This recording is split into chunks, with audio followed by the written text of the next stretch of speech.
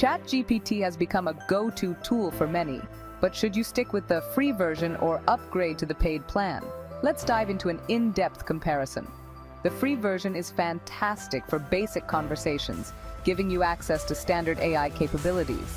It's great for those who occasionally use AI or are just getting started. However, the paid version takes it a step further. You get priority access during high demand periods, faster response times, and the ability to access advanced features like enhanced creativity modes, better handling of complex queries, and more memory to remember previous conversations. If you're a professional or someone who relies heavily on AI, the paid version can significantly boost your productivity. It's designed to handle more complex tasks, offer deeper insights, and provide a smoother experience overall. The cost is reasonable, especially if you're using it for work, studies, or serious content creation. So which version is right for you?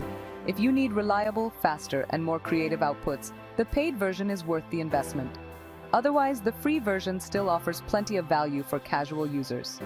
Choose what suits your needs best.